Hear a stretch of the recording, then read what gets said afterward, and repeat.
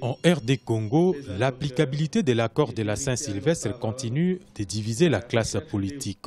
Selon l'accord signé le 31 décembre 2016, le pays devrait organiser avant décembre 2017 trois scrutins dont la présidentielle sans l'actuel président de la République Joseph Kabila, ayant nommé Bruno Chibala et Joseph Olengankoy respectivement Premier ministre et président du Conseil national de suivi des accords, le chef de l'État est accusé par l'opposition de torpiller cet accord, un avis qui rejoint celui des évêques catholiques.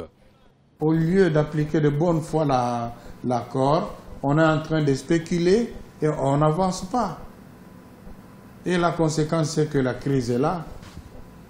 Hier, les dollars s'échangeaient à combien? Aujourd'hui, ça s'échange à combien? Ce sont là les signes. Par contre, si à la place, on avait aujourd'hui une CENSA qui inspirait confiance, peut-être même euh, instinctivement, les taux changeraient dans, l'autre sens. Bien que l'option d'un énième dialogue soit rejetée par beaucoup, les rumeurs sur des contacts secrets entre la majorité et les rassemblements de l'opposition circulent de plus en plus.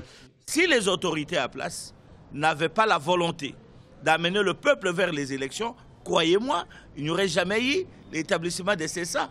Ce qui est plus important, c'est d'organiser tout dans la paix et dans la concorde nationale.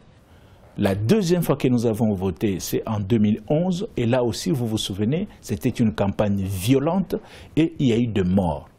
Nous disons, cette fois-ci, on ne veut pas que ça se passe comme cela. Si pour arriver à ces élections apaisées, il faut euh, qu'on se mette autour d'une table, nous n'y voyons pas d'inconvénient. Mettre en application l'accord de la Saint-Sylvestre dans son esprit et lettres, c'est l'option soutenue par l'opposition congolaise qui estime qu'au 31 décembre 2017, Joseph Kabila perdra toute légitimité. Cependant, malgré plus de 40 millions d'électeurs enrôlés, Plusieurs facteurs indiquent que ces élections n'auront pas lieu en décembre 2017. Si les contacts entre les deux grandes familles politiques du pays se confirmaient, les Congolais devraient s'attendre à un autre gouvernement, comme le font remarquer certains observateurs.